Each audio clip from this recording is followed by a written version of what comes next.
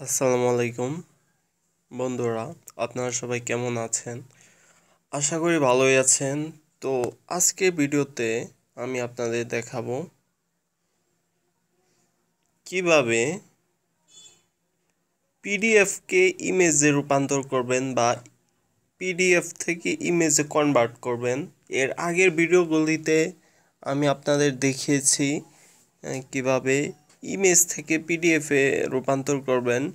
আমার চ্যানেলে সেই নিয়ে ভিডিও দেওয়া আছে কিওয়ার্ডস সেই নিয়ে ভিডিও দেওয়া আছে দুইটি।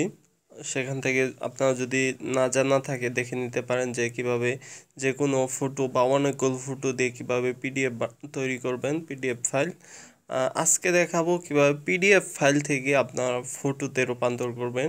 সেজন্য আপনাদের এই অ্যাপ্লিকেশনটি লাগবে।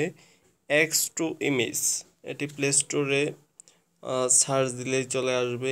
এক্স টু ইমেজ লিখে খুব মোটামুটি জনপ্রিয় আছে এবং এইরকম নামের একটি অ্যাপ্লিকেশনই আছে। তো অ্যাপ্লিকেশনটি আমি ওপেন করে নিচ্ছি সিম্পল একটি অ্যাপ্লিকেশন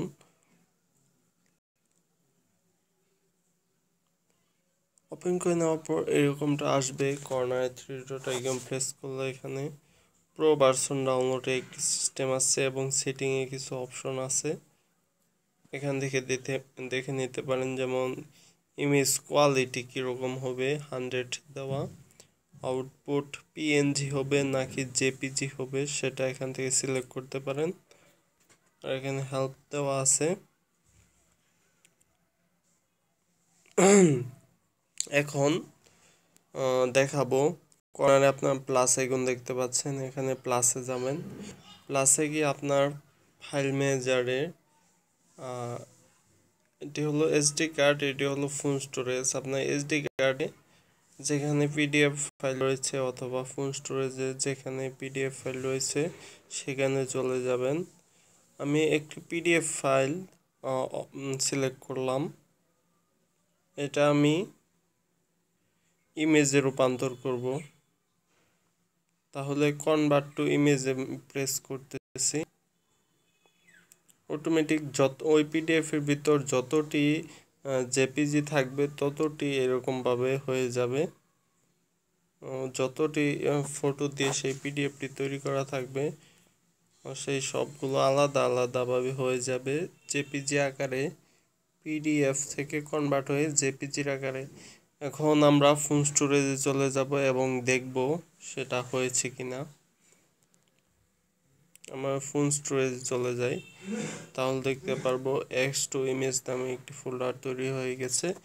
সেই ফোল্ডারের ভিতর আমরা চলে যাচ্ছি এবং দেখতে পাচ্ছি ওয়ান টু থ্রি ফোর ভাবে একটি পিডিএফ সাকসেসফুলিভাবে তৈরি হয়ে গেছে। সরি একটি পিডিএফ থেকে ছবিগুলো আলাদা আলাদাভাবে কনভার্ট হয়ে চলে আসছে। এই ছবিগুলো আলাদা আলাদা হয়ে গেছে।